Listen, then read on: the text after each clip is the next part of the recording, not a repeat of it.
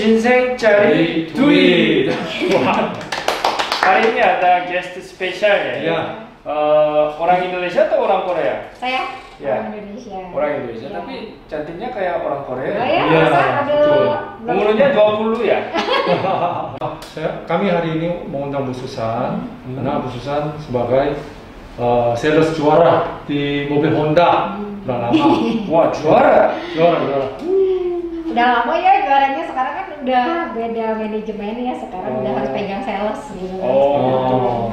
Banyak orang pikir sekarang masa pandemi, saya menurut aku jarang ada orang yang beli mobil, tapi Hmm. masih ada jualan, Masih. masih ada. Oh. Oh, berarti Bu Susan Kencang. berarti punya beberapa keunggulannya daripada Rahasia, saya yang lain. rahasia. Ya, Rahasia masih. keunggulannya ya. Hmm. Memang karena ju- jurusannya pariwisata.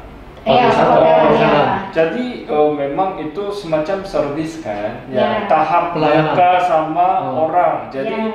eh, Bu Susan udah pintar cara omongnya, cara mancingnya, sorry kata mancingnya aneh ya, tapi pokoknya eh, biar bikin orang tertarik gitu iya, iya, Oke. iya, itu udah jago ya dari Sebenarnya namanya dunia marketing itu sebenarnya harus ada bakat juga ya. Iya. Kalau nggak ada bakat mau dipelajari bisa, hanya Hmm. makan waktu lebih lama. Hmm. Ya, jadi ada orang yang mungkin bawel.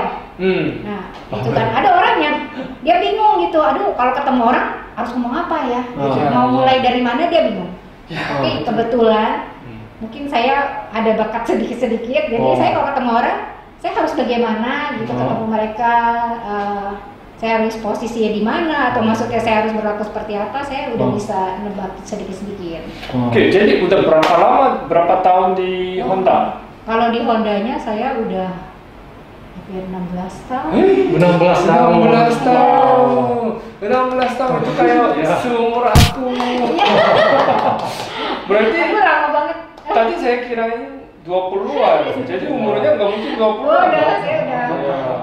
Guys, tolong komen kalau udah pernah beli mobil sama Bu Susan, tolong komen loh. Oh. Hai Susan, gitu gitu. Iya. Ya.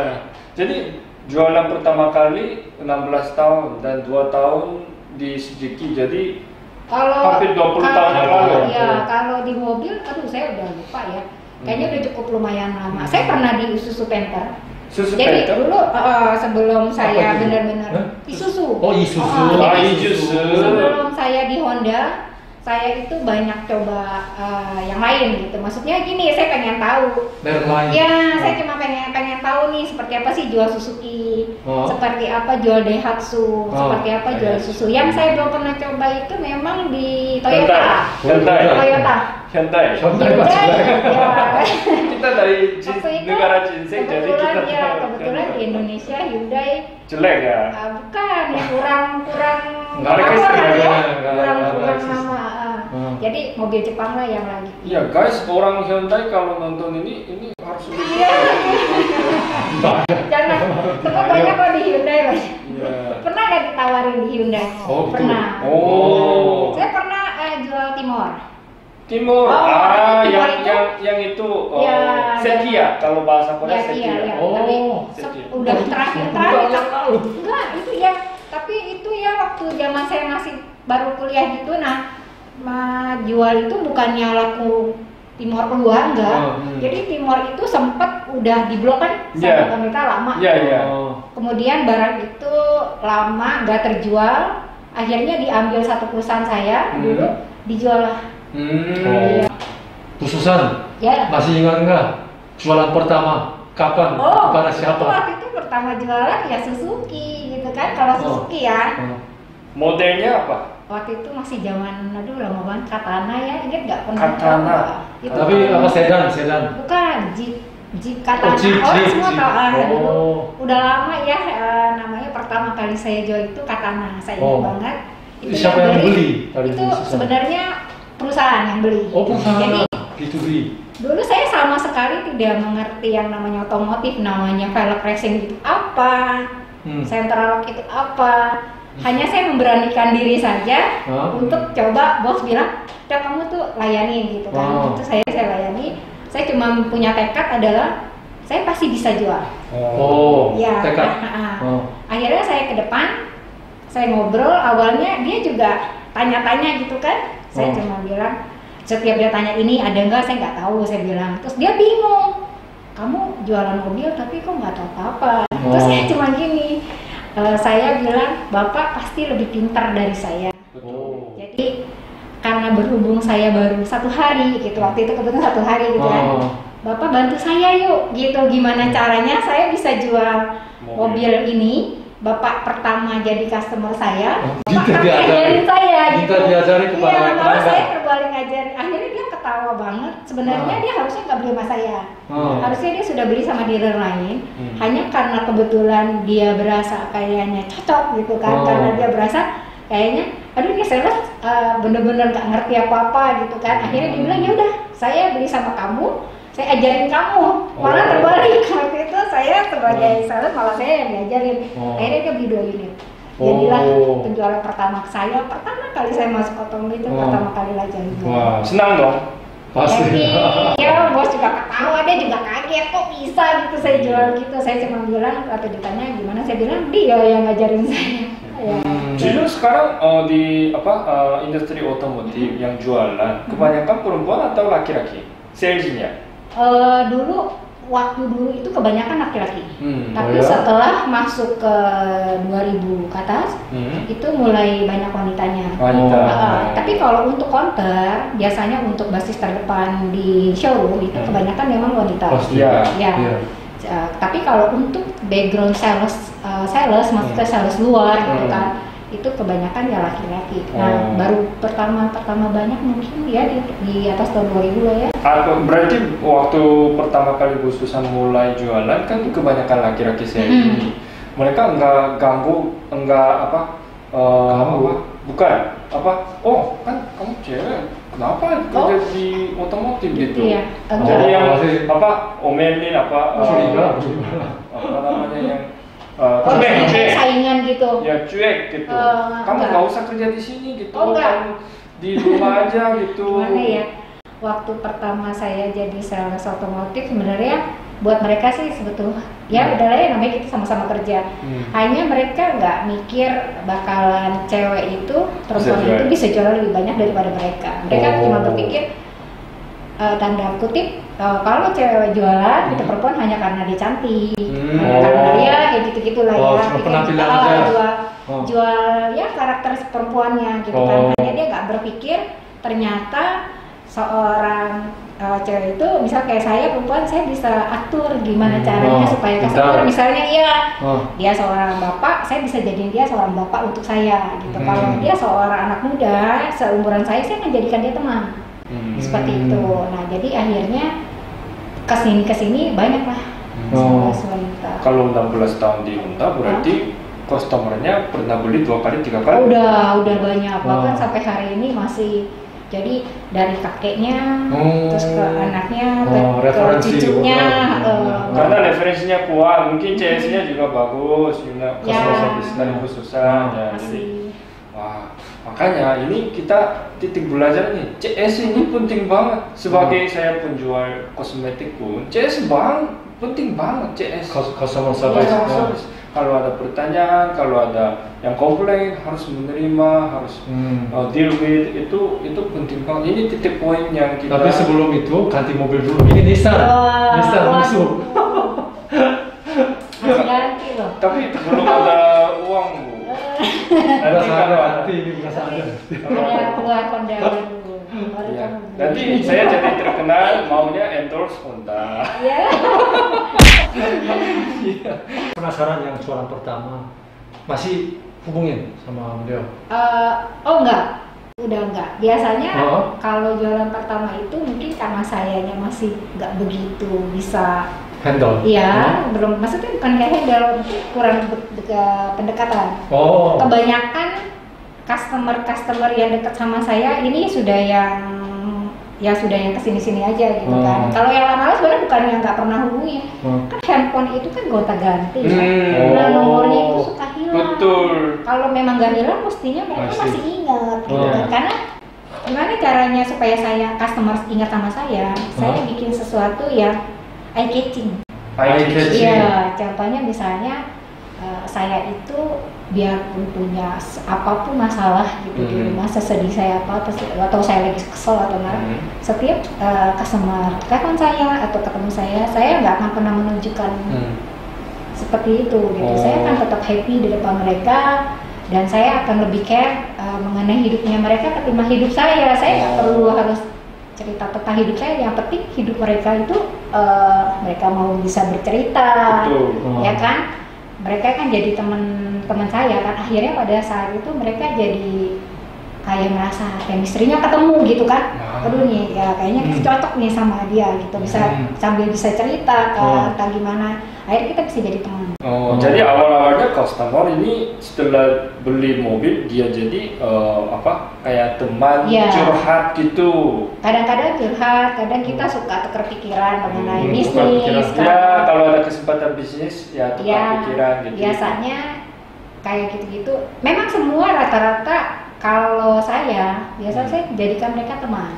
Wow. Ini boleh tanya, saya pengen tahu. Berapa nomor disimpan di dalam HP Bu Susan? Aduh, aduh banyak. Kira-kira, kira-kira Puluhan ribu lah. Aduh itu 100 lebih lah pasti. Lebih. Lima lima ratus lebih. Lebih. Seribu lebih. Seribu. Pasti. Eh, saya punya database aja di buku. Iya, Nah, itu berapa iya, orang? saya- ada seribu lebih. Ibu Saya buku saya pernah ya, saya punya buku itu lengkap ya. Cuma waktu saya keluar, waktu itu sempat gini, saya pergi eh, kerja di dua tempat Honda gitu kan. Hmm. Setelah saya keluar dari satu tempat itu, buku itu saya dicuri.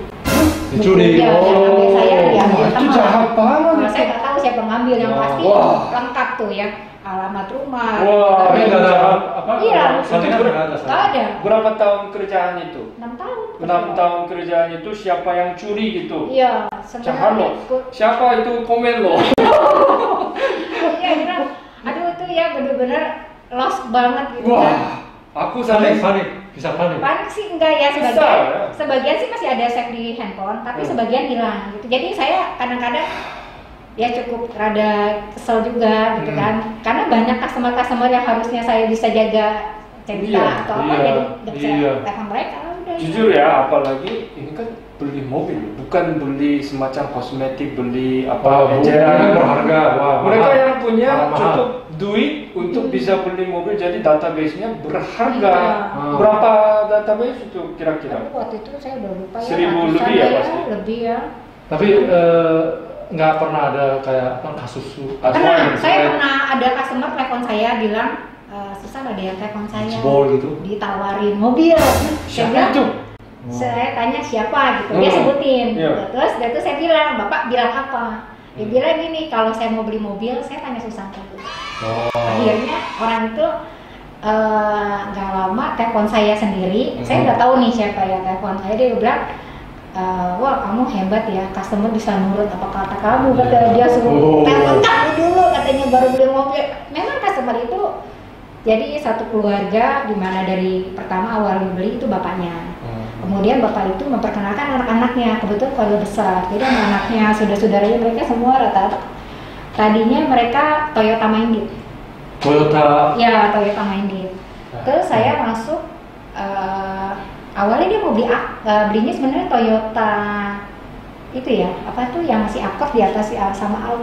Aku. Camry, Camry. Camry ya, Oh, Camry. Camry, Dia ya. mau beli Camry. Hmm. Cuma waktu itu dia panggil saya, dia cuma tanya alasan apa yang bikin saya harus berubah ke Honda. Hmm, takut ya. Ya, Oh. saya cuma bilang gini, "Eh, kalau bapak belum pernah coba Honda, Hmm. saya harap bapak coba dulu. Hmm. Setelah bapak coba, baru bapak tahu kenapa bapak harus beli Honda. Hmm. Oh. Akhirnya saya lakukan itu, kemudian dia bilang, oke saya coba beli.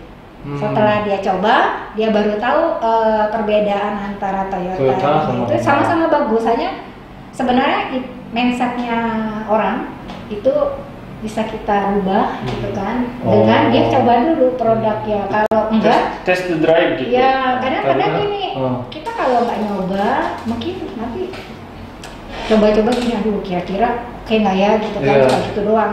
Tapi kalau dia udah pegang Iya. dia sudah merasakan Pasti dia sendiri, terasa. dia rasa nyaman, dia bisa beralih. Iya. Nah, itulah. Hmm. Oke, tapi Bu Susan masih belum jawab berapa nomor kontak di dalam HP Wah, kenapa perhatian. kira-kira aja ya. Berapa ya? Ribuan Tujuh pasti. ada nggak? Tujuh ratus lima puluh ada ya? 750. Ada ya? Pasti. Ada ya? Saya Kalau tujuh ribu lima ratus mungkin. Nggak tahu ya berapa ya? Di handphone bisa berapa banyak? Saya nggak pernah perhatiin. Oh. Saya Ya. cuma biasanya save save aja. Kenapa memang apa kenapa obsesi untuk aku pengen tahu. Soalnya katanya pernah juara juga kan? Eh, ya, Iya, juara. pada saat saya masih jadi sales, Hmm. ya. Hmm. Waktu itu setahun jualnya berapa? Berapa? Oh, berapa ya mobil? gini setiap dealer itu kan berbeda-beda ya kan Iya. tergantung targetnya hanya untuk satu dan teman-teman teman untuk bersaing itu nggak gampang gitu Hmm. kan hanya gimana caranya kita untuk bisa ada di atas Hmm. itu nggak gampang gitu kan saya Hmm. pernah di terbawah saya Hmm. pernah Hmm. sampai saya putus asa gitu bagaimana caranya saya naik untuk sampai atas lagi jadi saya pernah di atas saya Oh. pernah jatuh sampai ke bawah Hmm. Oh. Nah dari di bawah itulah saya belajar banyak untuk gimana caranya saya bertahan, Hah? kemudian saya naik lagi. Hmm. Nah, Ah. itu bisa akhirnya dalam waktu berapa tahun gitu kan pelan-pelan walaupun mungkin rasanya aduh gimana ya gitu kan dari yang tadinya pernah di atas terus tiba-tiba di bawah gitu kan rasanya gimana ya. Ya pasti Oh, oh. sedih lah. Terus tapi saya punya manajer kebetulan Oh. dia itu saya anggap teman juga Hmm. dia yang selalu support saya gitu kan Oh. dia selalu bilang "Eh, kita bisa main naik lagi ke atas asal kita kalahin ego kita Iya. Kalau Ya. ego kita. kalahkan dulu Hah? rasa nggak percaya diri kita dan arti saya kan minder ya pasti ya lu gimana ya nanti saya dipecat lah apalah Oh. gitu atau lu nanti saya nggak bisa jualan bagaimana tapi itu yang harus saya kalahkan dulu Hmm. Oh. kemudian barulah saya bisa berpikir lagi Hmm. bagaimana nih Dari caranya nol lagi ya. Hmm. Wah. untuk mempertahankan posisi itu gitu loh akhirnya sampai hari ini saya ya puji Tuhan oke gitu, Hmm, bisa oke. bertahan Maaf, tapi saya pengen tanya terus. ya. Jualan terulang paling bagus berapa mobil? Jualan paling buruk? Paling buruk itu Berapa pernah nggak jual Nol mobil. Iya, Satu bulan nol. nangis saya waktu itu Oh. jadi sebenarnya bukan nggak jualan sebenarnya ada ada SPK-nya maksudnya Hmm. pesanannya hanya tidak bisa closing Mau closing. Karena satu, sales itu closing. Eh, gara-gara apa ya? Gara-gara Oh. saya tuh saking terlalu ngegampangin masalah gitu. Maksudnya saya Hah? udah dapat nih customer. Saya mundur-mundurin sendiri, nggak? Kenapa?